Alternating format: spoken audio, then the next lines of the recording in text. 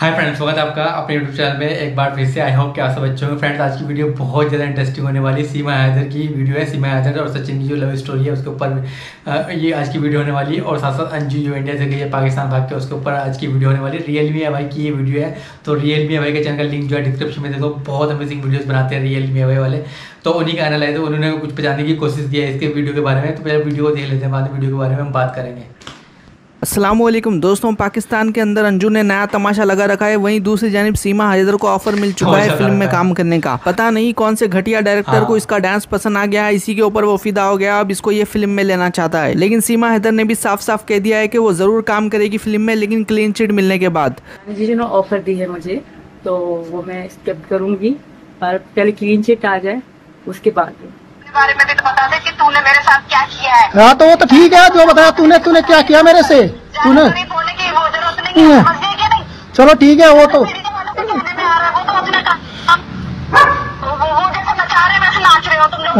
तू तू तू जो ओ हेलो तू जाके पाकिस्तान में नाच रही है कूद रही है वो अच्छा लग रहा तेरा तो हाँ।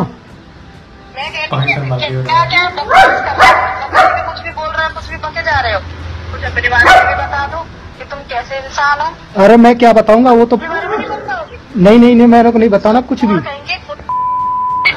लेकिन जहाँ तक अंजू की बात है अंजू को एक पाकिस्तानी पॉलिटिशियन जिसका नाम है सनाया सबील जो कि पीटीआई की पॉलिटिशियन है ये उल्टी सीधी बातें सिखा रही है।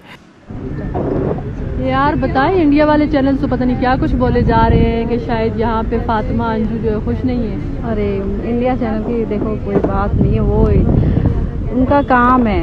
उन्हें तो वीडियो बनानी है और जब ओरिजिनल वीडियो इन लोगों ने बनाया था तो वॉइस शायद नहीं आई थी सही इसी वजह से बाद में डब कर कर डाल रहे हैं। ये लेवल तक ये लोग गिर चुके हैं। तो अपना नंबर बनाने हैं। रियल तो ये है ना कि मैं यहाँ हूँ अगर मुझे ऐसा कुछ होता तो मैं बोलती ना पर मैं यहाँ पे कितनी आज़ाद हूँ शॉपिंग कर रही हूँ। कितनी आज़ादी से घूम रही हूँ ऐसा कुछ भी नहीं है। और मैंने सुना है कि वहाँ पे बोल रहे हैं यहाँ लड़कियों को फंसाते हैं एजेंसी ऐसे बना रखी हैं बुलाते हैं। ऐसा कुछ भी नहीं है यहाँ पे और इतनी आज़ादी है इतना पीस ऑफ़ माइंड कुछ भी कहने पर ये लोग कह रहे हैं कि मेहमान नवाजी कर रहे हैं। दूसरे की बीवी को भगाना कहाँ से मेहमान नवाजी हुई? पाकिस्तान के डिस्को मुल्ला दिन भर यूट्यूब के ऊपर इस्लाम इस्लाम करते रहते हैं लेकिन जब अंजू उनके कंट्री में आए हैं तो तमाम के तमाम डिस्को मुल्ला खामोश है। एक शादीशुदा औरत के साथ रिलेशनशिप रखना उसको अपने घर से भगाने की क्या सजा है? क्या कोई पाकिस्तान का मौलवी बता सकता है? अभी इनको इस्लाम याद नहीं आता, क्योंकि इस्लाम तो इनको अपनी मन मर्ज़ी से याद आता है। और जहाँ तक सनाया सबील की बात है, ये तो बहुत ही ज़्यादा खुश हो रही है। सोच कर देखिए, अगर इसकी भाव किसी के साथ भाग जाती, तब ये क्या करती? जो सऊदी से चंदे के पैसे आ रहे हैं, उसी चंदे के पैसे का इस्तेमाल करते हुए ये अंजू को कपड़े पहना रही है। अगर इसकी भाव किसी गैर आदमी के साथ भाग जाती, तब भी ये इस तरह से गिफ्ट देती, क्या इस तरह से शॉल उड़ाती? हराम रिलेशनशिप को ये बढ़ावा दे रहे हैं भीख के पैसे लेकर। सनाया सबील के लिए तो ये नया नया मसला है, इसी वजह से ये रोटी सेक रही है, क्योंकि रोटी सेकने से पहले आटे की ज़रूरत पड़ती है और इन लोगों के पास आटा ही नहीं है। हमारी बात पर आपको यकीन नहीं आ रहा होगा, इसी सनाया सबील की जुबानी सुना देते हैं।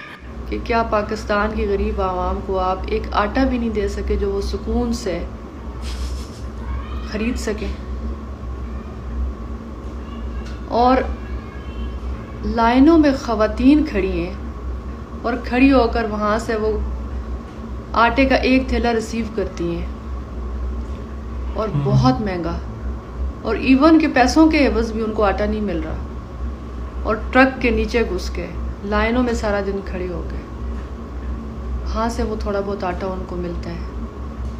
पाकिस्तान में क्या गरीब ज़िंदा भी नहीं रह सकता? खाने के लिए सनाया सबील के पास आटा नहीं है, भीख मांग कर सऊदी से ये लोग ज़िंदगी गुजार रहे हैं। और जहाँ तक इन लोगों को सपोर्ट करने वालों की बात है, उनके घर से भी कभी लड़की भागेगी, शादीशुदा लड़की किसी गैर मर्द के साथ, तब उनको अंदाज़ा होगा, तब वो लोग हलाल और हराम की बात करेंगे। और टूर्स एंड ट्रेवल्स कंपनी वालों को भी मौका मिल चुका है, ये लोग अंजू और नसरुल्ला को फ्री में टिकट दे रहे हैं उमरा करने के लिए। और जहाँ तक हक और बातिल, हलाल और हराम की बात है जो भी इनको समझ में नहीं आ रहा। आप लोगों की क्या है इससे मुताबिक कमेंट करके अपनी राय ज़रूर दीजिए। इंशाल्लाह अगले वीडियो मुलाकात होंगी। अल्लाह हाफिज़।